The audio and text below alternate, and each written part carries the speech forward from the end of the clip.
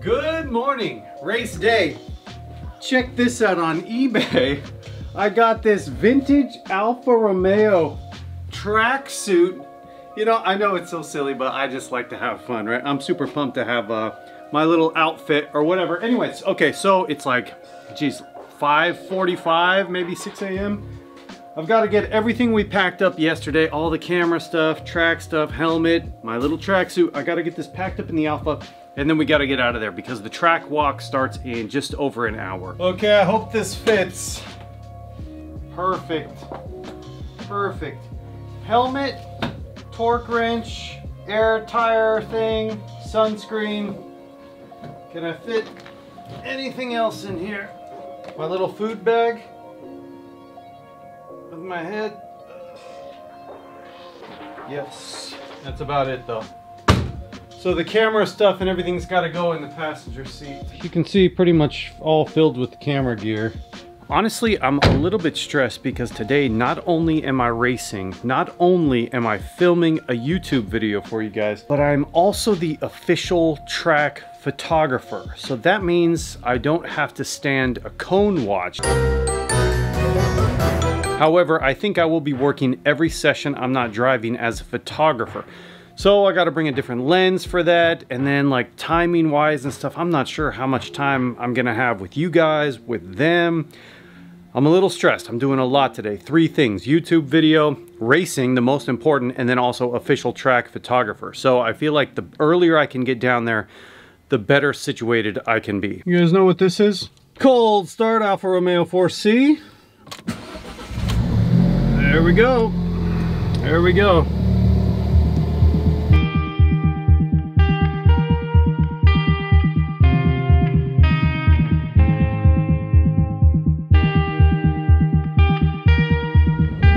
right, here we go. Now we're on our dirt road. We made it. I will say so far, this day is not going as planned. I have forgotten so many things. I forgot chapstick. I forgot water.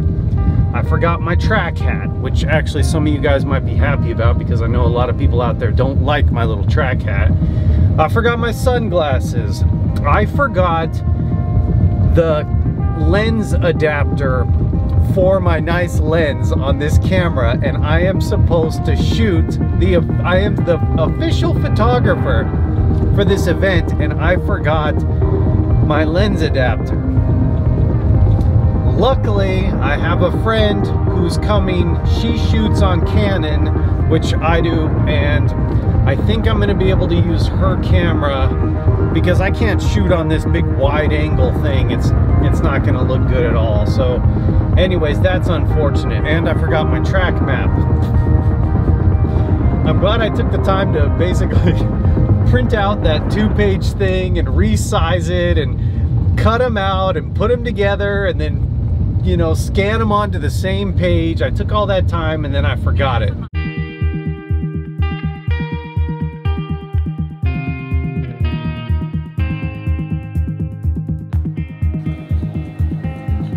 Okay, so we're here. There is a ton of cars here. A lot of C8s, a lot of S2000s. I'm the only Alfa. Let's go, Team Alfa. All right, so fun fact, I have these things back here and uh, they definitely get warm. So uh, I probably wouldn't uh, have anything perishable back there, not any ice cream or popsicles or anything, because uh, they definitely are warm to the touch. All right, Super Street, Super Street, Super Street, Super Street, Super Street. Veloster I like that car. Super Street, Super Street. We know him, he's fast. Super Street, Super Street. Pretty much everyone is on a pretty good tire in Super Street. I think you're allowed to run factory sizes, any tire you want up to a 200 tread wear. I'm on the factory uh, Pirellis. I don't, I think they might be the original tire. Um, it's not, not looking too good. Super Street, 500. I like your car, man. I know you. It is kind of nice to build some uh, relationships. There's like four or five people here that I know. Uh, that actually makes it a little bit more fun. You know, I saw this guy at Daytona. I've known this guy, I don't know, two or three events we've been to right? Right. Um, the Veloster N DCT. What's up, man? Looks good. I love it. It's good to see you out here. Yeah. You're always here, man. Yeah, here. So did you sell your 350 or no? I sold it, yeah. So you got this one instead? I sold it, yeah. Pretty much everybody loves the Alfa here. There's been so many people that have came up and just been like, whoa, this is Alfa, it's so cool, they want to check it out, you know, ask for ride-alongs and stuff. Although there's a weight limit, so I'm not sure exactly how I'm gonna handle that situation, you know, if we're gonna go for it or not. But ah, anyways, okay, I think it's time to walk the course and then I have to figure out as far as like the photography thing, is my friend here yet? Uh, figure all that stuff out. I'm super pumped. I think it's to be a good day. Hopefully, um, hopefully everything goes good. It's fun to do the course walk. Uh, you know, I like some morning cardio, honestly, and then, you know, to like really try to internalize the line like as fast as possible. And that's why I had printed out the track map Unfortunately, I didn't spend as much time as I wanted to, but I did look at it for, I don't know, five or 10 minutes, so I'm not completely blind. I at least knew the direction we were driving, because we're driving on the, at the firm backwards, so I've never driven this direction before. Uh, I think it's gonna be a ton of fun. I'm just gonna try to pay attention on this walk and really uh, understand, you know, kind of the line, so I'm not just driving blind. You're the coolest one here, man. So the course starts out, you're in this little box here and opens up into a slalom starting with a, a left. Right, left, right. Ideally, you probably stay wide. You make this left turn and right turn. Now you're going up the hill. There's two gates up there, one on the right, one on the left.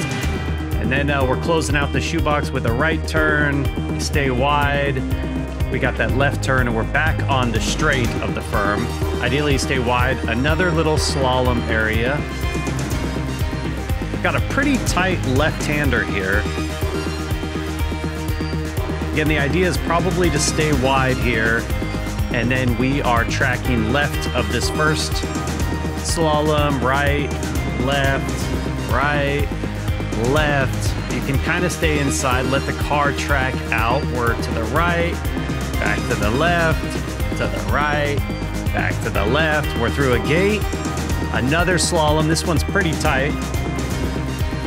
And uh, we got a small right bend, an element that you can choose to go around left or right.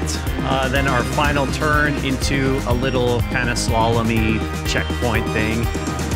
And then we're across the finish line and hard on the brakes. We'll say, I think it's gonna be quite a bit easier not having to worry about shifting gears, you know, having the DCT. Obviously, I need to pay attention to kind of what gear I'm in because I'll probably try and drive in manual mode, but I think it's gonna be a little bit easier, which might make it more fun as far as just like attacking the course and not having to worry so much about rev match downshifting and what gear and carry this speed, bounce off the rev, rev limiter, you know, things like that. So course looks pretty normal. Nothing looks crazy to me.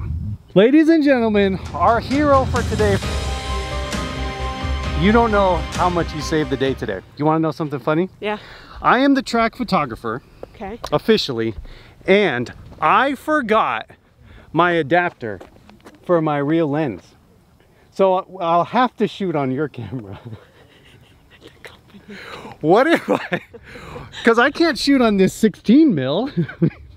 Hold on, Mary, I've lost control of the track here. Oh no. Co-worker. Okay. Yeah, she's never been to an event like this. No, I thought you were leading me somewhere. Do you have any advice? deserted. Advice? Yeah. Go the right way. I noticed you were walking backwards. you know, I just thought it would be more efficient to find the man in red pants. It was. These are my Alfa Romeo. I got the top too. I have the full, the full suit. so before it was my turn to drive, I had to go out on track and take photos of everyone else. I know how important this is because it is awesome getting good photos of your car on track. Now going into this, I knew it was going to be a lot of work, but I didn't realize how much work it actually was. I took over 4,000 images that day, and then I had to get home and edit them all for everyone else. Now, I am thankful for the opportunity to go out and shoot photos on track, and I actually learned quite a bit from this experience. However, I was not prepared for the amount of energy it took. I will say that out there shooting constantly is exhausting. It's definitely more work than it is just watching a cone. I'm probably not gonna do this again unless I'm getting paid for it. So I got the tire pressure dialed in. Basically, I'm starting at 28 in the rear and 26 in the front. We'll see how that goes. You know, it's been a while since I've driven a car with staggered tires on track. It looks like it's starting to rain, so who knows? These are the Pirelli P0s. 28, 26, we'll see how we do. All right, let's get suited up here. Let's get suited up. How ridiculous is this? It's about having fun though. It's really just about having fun. There we go. Alfa Romeo in the house.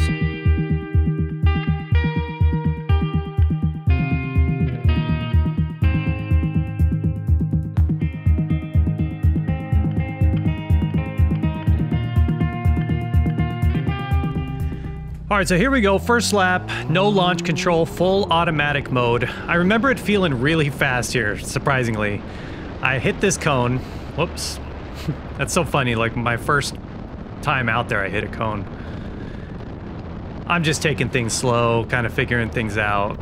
Right, we go up the hill. I'm still building my confidence on how hard I can get into the brakes here. First time on track, first time pushing it.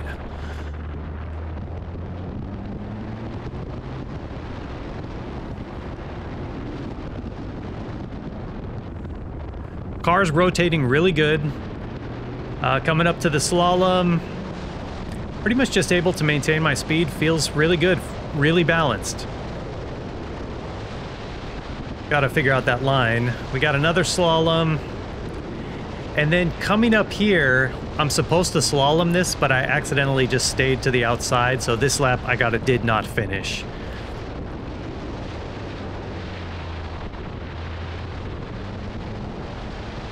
A little slalom, and then we're across the line and hard on the brakes here.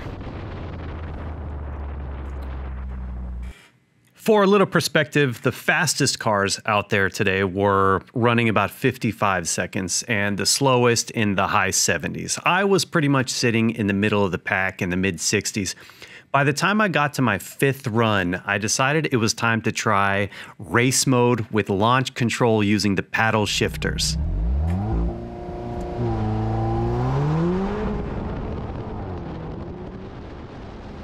You can see that thing off the line just hooked up and went. You know, I'm carrying more speed already, and uh, I'm really starting to get some confidence in the car here. We go up the hill, feeling pretty good, hard on the brakes. The car is turning great. You can see my hands, like, even though the car doesn't have power steering, uh, it's still really easy to turn. It turns well, there's really good feedback in the car.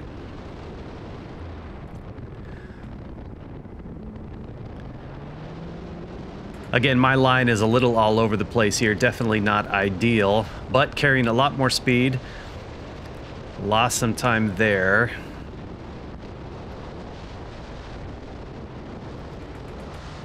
Hit this slalom correctly. Look at that car control, pretty decent.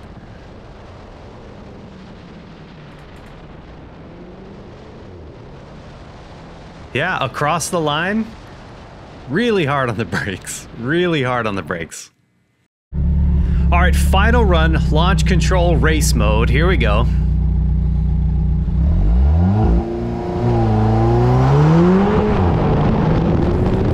It just hooks up.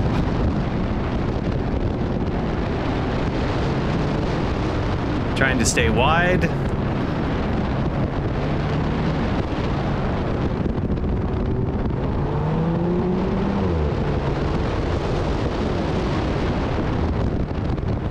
The DCT is feeling good. It's not really unsettling the car at all, upshifting or downshifting, which is awesome.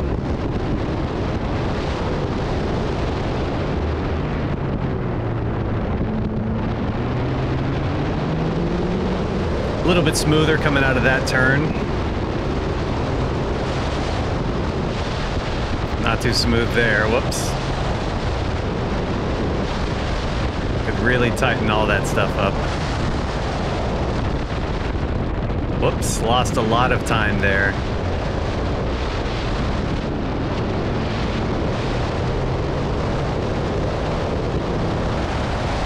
And still across the line at my fastest time of the day, I think that was a 64, which uh, put me in company with some pretty cool cars.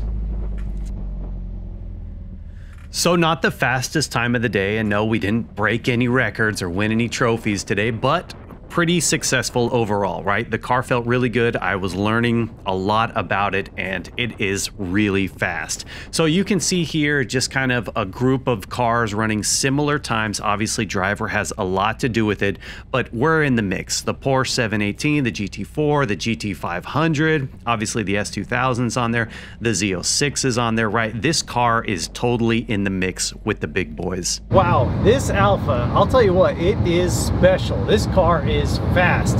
Now I know I didn't like win my class or break any records or anything like that, but that's all on me. I mean, this car is classed with the GT3s, the GT4s, the NSXs, the Z06s for a reason. This car is no joke. And uh, I'm just really excited to continue, you know, basically learning this car, getting some more confidence, you know, under heavy braking, you know, really finding limits of turn in and things like that. I'm on stock alignment, some old tires. What do I expect, really? I was just happy that we went out there, we ran, we got faster each time, and uh, you know, nothing broke. I'm gonna, I'm sure I'm gonna be able to drive home fine. So many people were looking at the car, talking about the car. Ah, it was cool. Obviously, it was the only one there. Um, really pumped, really happy with the Alfa Romeo Forestiga. Like, very happy with it. It's, it's exhausting now, I'm gonna tell you right now, I don't think I'm ever going to sign up to track, vlog, and be the official event photographer, you know, because I've still got, even though I shot all day pretty much, I've got now two or three hours of editing everyone's photos, and it's like, it's a lot of work for that. I'm not, I'm not gonna do it again. Anyways, I'm super pumped. This car is great. This car is special. Uh, a lot of fun. I'm very happy, very happy with the car. Let me just say the support over the past couple videos with the Alfa Romeo 4C has been incredible. You guys are loving it. I'm loving it. I can't wait to bring you guys more content. There's one question I am getting asked a lot, and that is if the GT350R is a better track car than the Alfa Romeo 4C. And to be honest, I can't answer that yet. All right, I actually need to go to a normal track day because autocross, you're more or less attacking the course, you're driving the course, you're not really driving the car, if that makes any sense. So to be honest, I don't know. At the firm, I honestly have no idea if this thing is gonna be faster than the GT350R or not, but we're gonna find out soon. Jason Andrews, the All-American driver. I will see you guys in the next episode.